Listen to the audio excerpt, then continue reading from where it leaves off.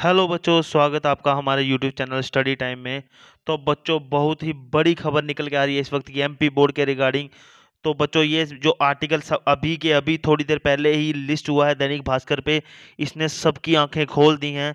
Sir चकराने वाला ये आंकड़ा निकल के आ रहा है। बच्चों, इसमें सब के सब फैसले बदल जाएँगे।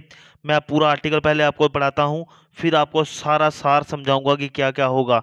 तो अगर आप हमारे चैनल पर नए हैं तो वीडियो को लाइक कर दीजिए, चैनल को सब्सक्राइब कर दीजिए। चलो, पहले आर्टिकल पढ़ाता हूँ आपको। बच्चों, कोविड संक्रमण की रफ्तार अब और तेज हो गई है, ऐसे इसलिए क्योंकि बीते आठ दिन में कोविड संक्रमण की स्पीड 1600 परसेंट बढ़ी है। 31 दिसंबर को प्रदेश में कोविड पॉजिटिविटी दर जो थी वो 0.13 परसेंट थी, जो 7 जनवरी तक बढ़ के 2.13 परसेंट हो गई है।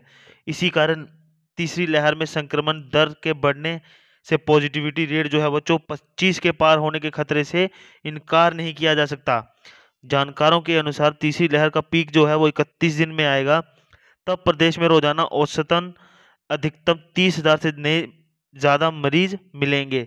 उल्लेखनीय ये है कि कोरोना की पहली लहर का पीक प्रदेश में संक्रमण की शुरुआत के छः महीने बाद 21 सितंबर 2020 को और दूसरी लहर का पीक जो था, वो छप्पन दिन बाद 25 अप्रैल 2021 को आया था। तो बच्चों, ये जो न्यूज़ निकल के आई है, इसने सबकी आँखें खोल दी हैं। जो नए आंकड़े निकल के आ रहे हैं कि जो कोरोना है, वो बहुत ही ज़्यादा तेज़ी से मध्य प्रदेश में बढ़ता जा रहा है। तो बच्चों बात करते हैं आपके एग्ज़ाम की तो बच्चों, काफ़ी सारी पॉसिबिलिटीज़ बनती जा रही हैं। कभी भी आपको सुनने को मिल सकता है, या तो आपका एग्ज़ाम पोस्टपोन्ड हो सकते हैं, या फिर आपके एग्ज़ाम कैंसिल करवा के, जो पहले आपका रिज़ल्ट जैसे पिछली बार दिया गया था, वैसे ही दिया जा सकता है बच्चों। और सीबीएसई को जैसे हमेशा एमपी बोर्ड फॉलो करता हुआ आ रहा है तो ये आपके ऑनलाइन एग्ज़ाम की तरफ़ भी जा सकते हैं। तो आपको तीनों चीज़ें ध्यान में रखनी है बच्चों।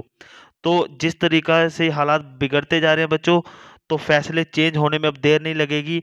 आप बस अपनी तैयारी पे बने रहिए, तैयारी मत छोड़िएगा, चाहे एग्ज़ाम कैसे भी हों।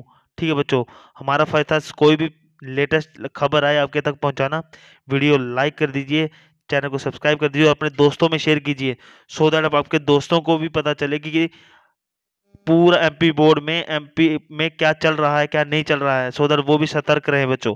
ठीक है बच्चों मिलते हैं अगली वीडियो में बाय टेक केयर